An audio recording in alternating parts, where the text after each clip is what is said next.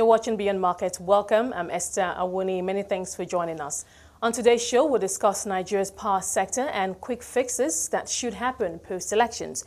As always, you can join the conversation with the hashtag Beyond Markets, and for comments on our election coverage, you can use the hashtag Nigeria Decides 410, and you can follow my Twitter handle too at Esther O. Awoniyi.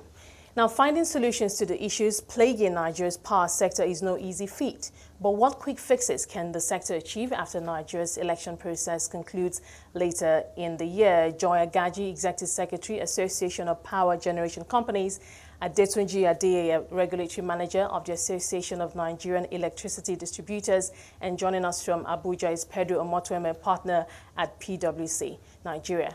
Of course, so we're exploring solutions for Nigeria's power sector. Now let's get right to it. Thank you so much for your time today on the show. Pedro in Abuja, thank you so much for joining us today. Thank you, Esther. Thanks for inviting me. Tunji, let me start with you.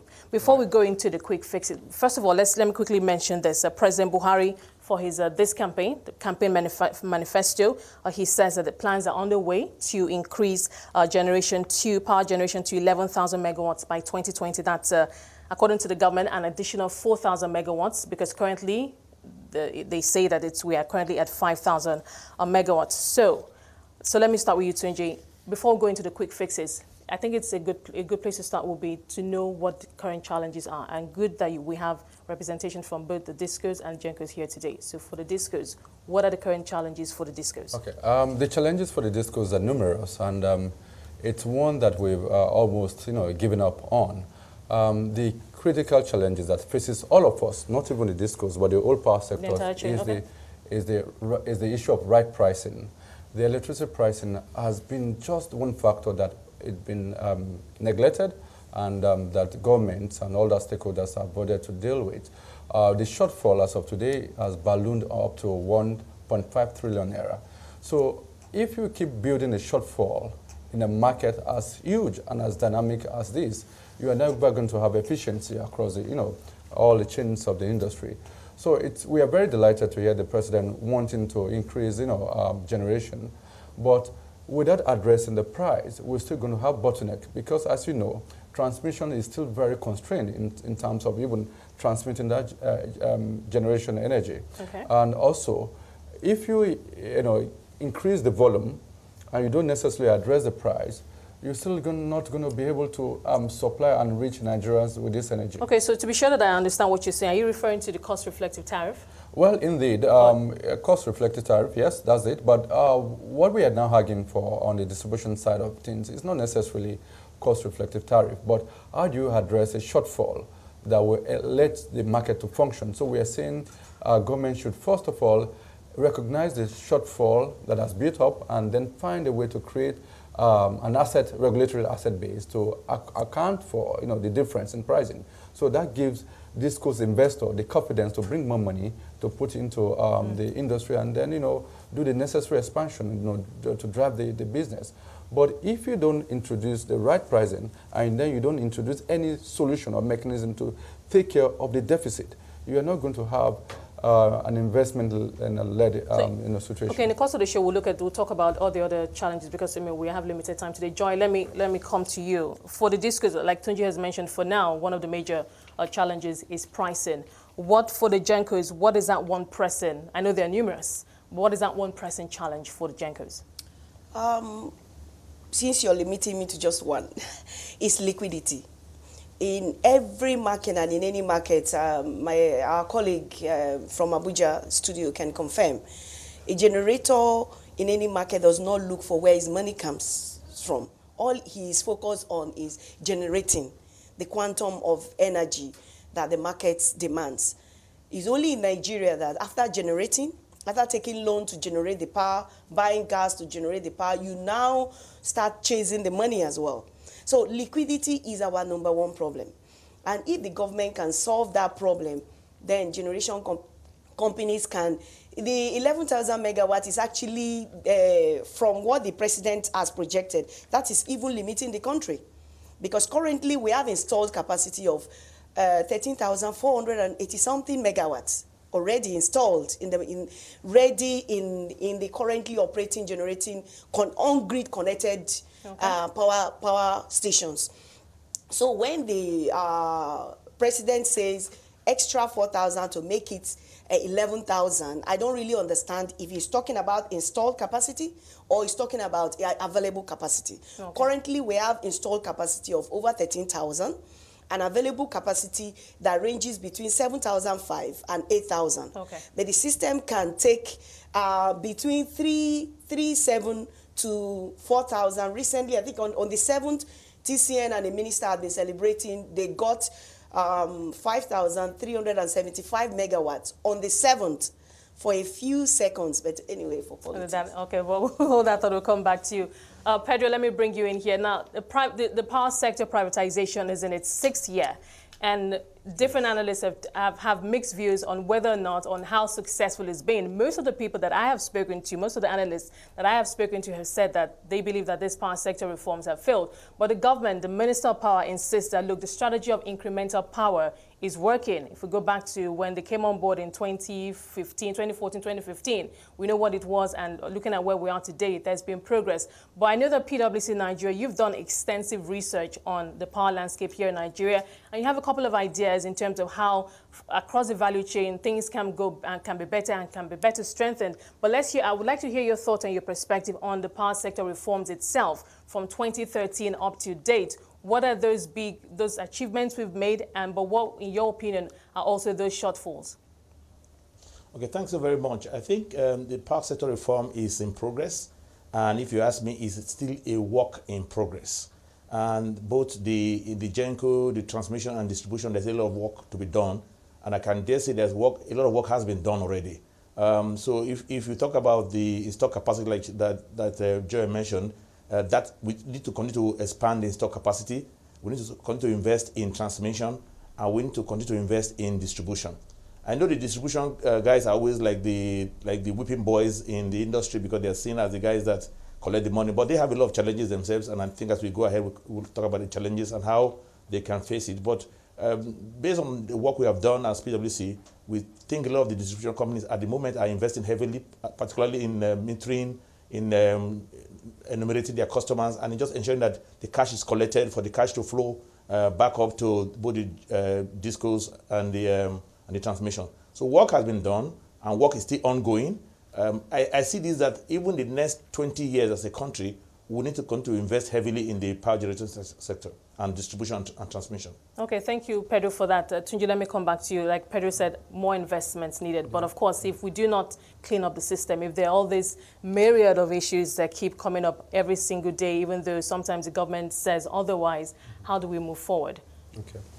All right. Um, I agree with Pedro. Um, and as he rightly said, a lot of investments has been put in by the um, discos investors. But you see, um, much would have been um, done and easy to do if um, attentions are paid, um, you know, to the right um, uh, gray areas in the sector. So uh, for us, there are things that we you don't need um, too much to do. Um, for instance, um, George talked about the uh, GENCO capacity.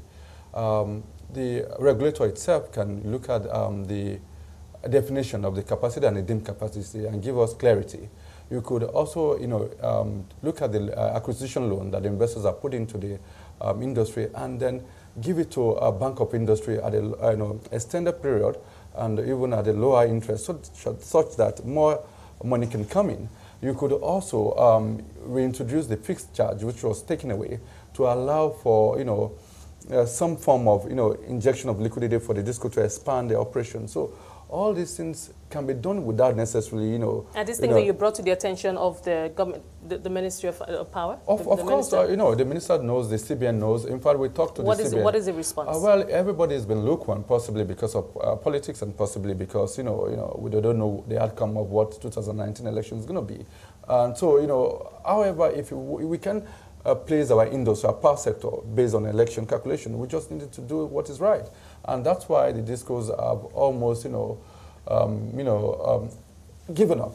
Hmm. That are we really serious in, um, you know, attending um, to, to the uh, well, issues, that is a, that is a, those are very strong words. So Joy, let me bring you in here. We were talking about quick fixes here uh, post-election, and of course, like I said, if we cannot uh, solve many of these problems, uh, some of these problems, moving forward will be difficult. For GENCOs, what are some of those quick fixes that you think that we can begin to explore? Okay, thank you. Although I'm here to speak about the Gencos, but um, the Gencos sit at a vantage position where their product needs to be transmitted, it needs to be distributed, and then um, uh, money collected to be able to enable them pay up their debtors in the upstream, like mm -hmm. the mm-hmm. gas suppliers and all the rest. So I will speak um, a solution to the sector itself, because if the sector is fixed, then Genco's problem will be fixed. Uh, one of such problems will be, number one for me, will be political, strong political will to resolve the current issues. If we have a strong political will, um, I'm sorry to make reference to the past administration. Uh, I happened to be part of the presidential task force then that was advising the past administration. administration. And I saw the zeal with which uh, number one and number two were so focused on pushing the issues, the agenda in the power sector if we can have such a resuscitated, strong political will, then these issues will be resolved. You heard my colleague saying that the discos are already frustrated. Are we really serious? The frustration cuts across everyone.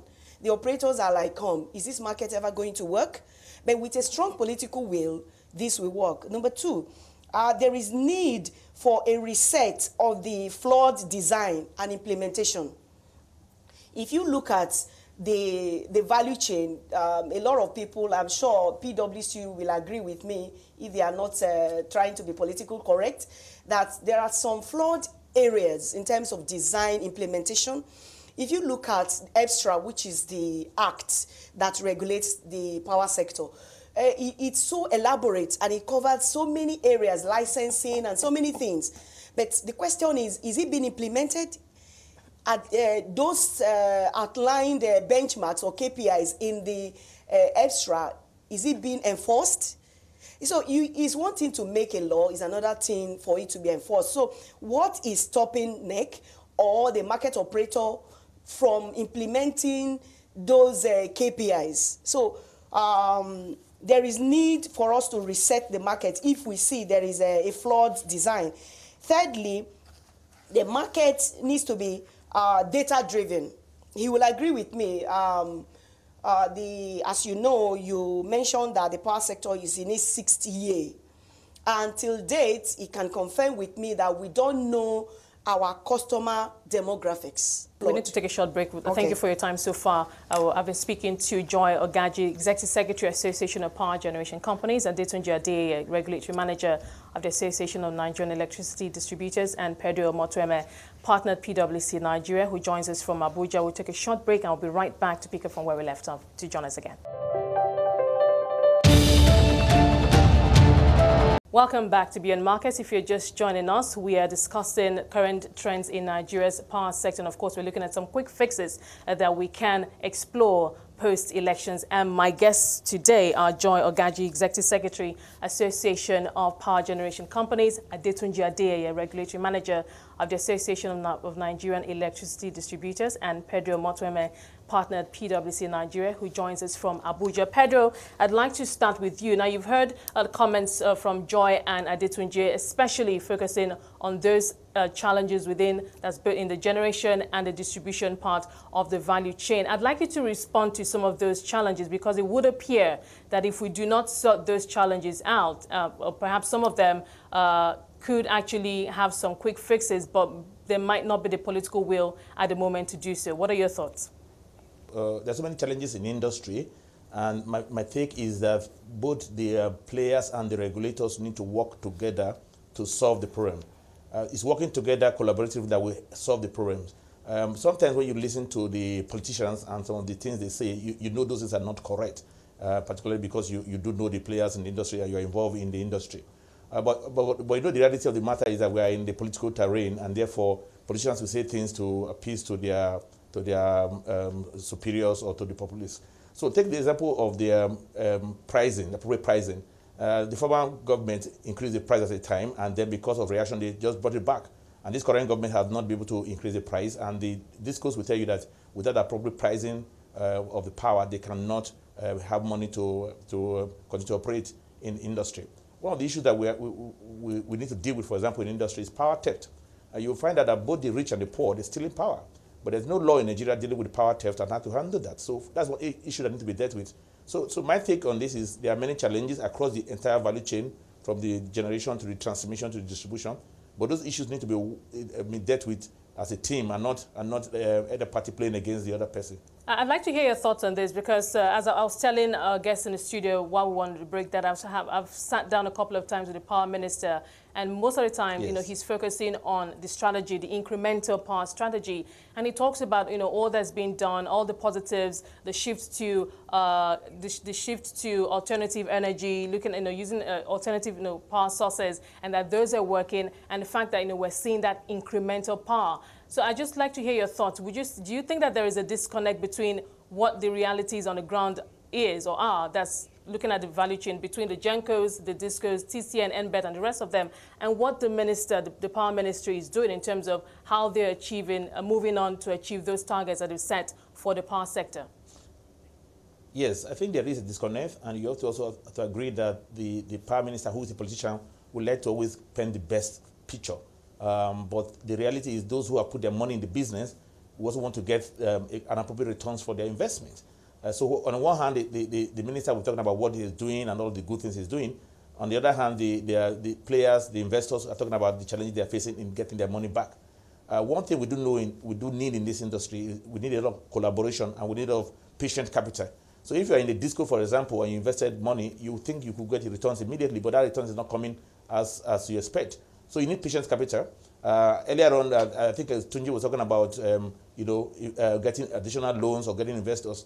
Now those investors need to know that the money will not come immediately. It's a long-term play. So long-term play is what we require in industry. Working together with every player in the industry is always required.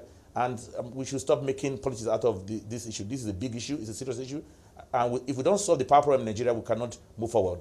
Hmm. Tunji, let me, let me bring you in here. I mean, we know what the issues are, so but then going forward, what what can we expect? I mean, we'll talk. I mean, the whole purpose of this discussion was to talk about quick fixes, and I don't know. I don't. I don't get a sense that you know there might be quick fixes because if there's a suggestion of what a quick fix is, there's also the political will on the part of the government or the regulator to do to actually do it. Right. So I mean, but what are you hoping for going forward? All right. Um, um, I think uh, Pedro um, start, started um, on some of the points. Um, it's um, more of collaboration uh, with the uh, overseeing ministry, that's the Ministry of Power.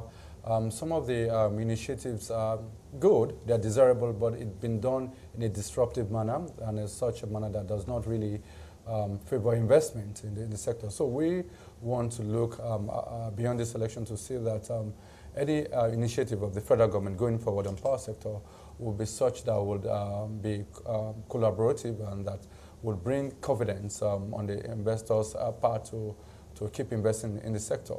And also, um, you know, uh, Pedro talked about um, certain legislative intervention that we do desire.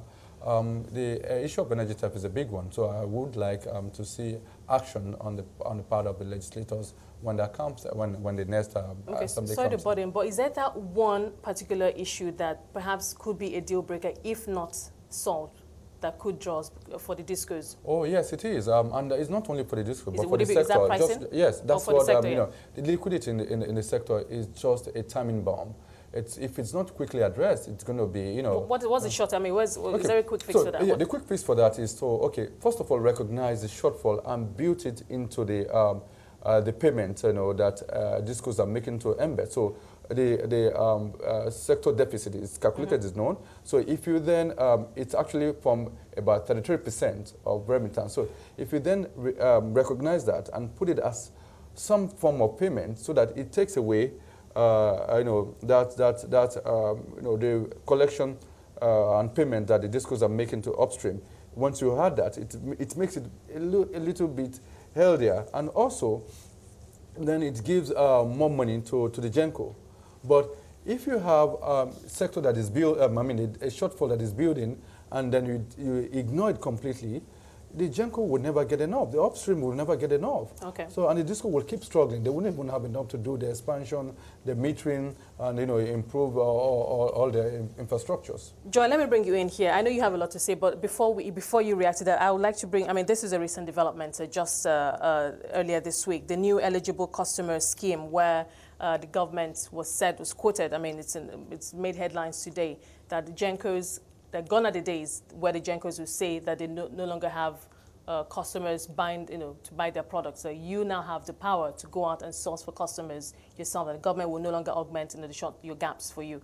I'd like you to respond to that first. Um, I believe that the permanent secretary must have been misquoted. Um, this is because it has um, uh, it has a very wide-ranging ramification to the power sector. It means that Gencos can now um, look for their customers anyhow arbitrarily. Uh, they are not bound to the contract to NBET. Uh, they, they are not also bound to the uh, performance agreement with BP. And so they can just employ marketers to market their products. So, for example, Transcorp has a capacity of 701 megawatts. So Transcorp can now just employ marketers and go around, sell 701 megawatt. They are not committed to the discos. Okay. This will affect the discos business because it is tied to what power they can get to sell. Okay, so basically you do not think that this is something that's I, I think he was he was must have definitely been not. yes yes no, yes I believe that he must have been misquoted, misquoted. and I expect uh, the ministry to quickly make a rejoinder and put the right statement out there. Otherwise, okay. it's, it's, going to cause a lot of uh, problems. The, the, eligible customer re regulation and policy is one that we've objected to, um, objected to since um, the um, beginning. Why? It's, it's such that uh, this disrupt the whole power sector because it gives you uh, an option to cherry pick the best and paying customers of the discos and which, who guarantee the revenue assurance back to the value chain upstream. So if you take those customers away, uh, you're not going to have a wholesome market. You are going to have a weaker, you know, um, you know, value chain because then um, the performing uh, customers would have been cherry picked. You have the worst paying customers as the pack, and then you, you're not going to have enough uh, income or collection to actually improve.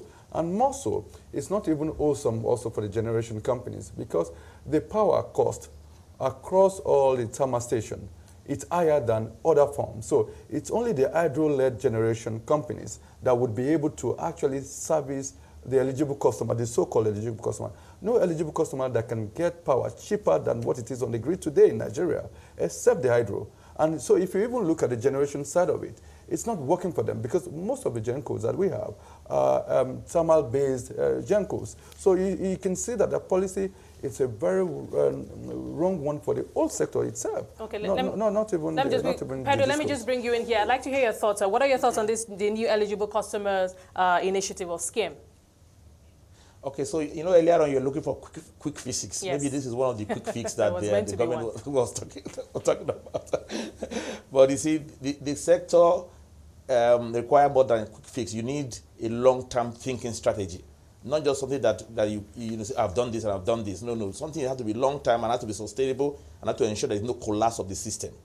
So I, I, think the eligible customer is a good idea. If it's just for the excess power that they couldn't uh, sell to NBET. if that's what you are dealing with, then I think it's a good idea. To say, look, you're very controlling this power to, to the uh, NBET, but you have uh, additional capacity, so go look for customers other than one you've already contracted. That way, at least for the for the uh, Gencos, they they get additional money. They can you know price that at a premium.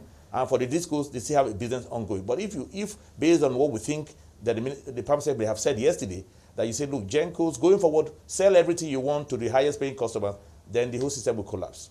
Okay, now earlier we are talking about uh, for the discos, the uh, uh, data, knowing where the customers are, uh, properly, adequately metering them, and just data that we can, you know, that can be relied on. And then we're, if we're talking about pricing or cost reflective tariff, we know that yes, customers are paying for uh, power that they consume. What are your thoughts on the issue of pricing, the issue of uh, cost reflective tariff? I've spoken to the minister about it, and I, honestly, it was just neither here nor there in terms of how it could actually work.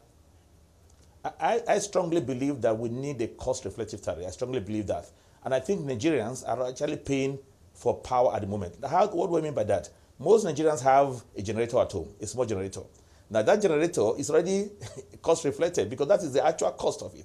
Now I would prefer to pay the um, the discos more money if I don't need to use generator anymore because I'm sure that I will have cleaner, better, more stable power.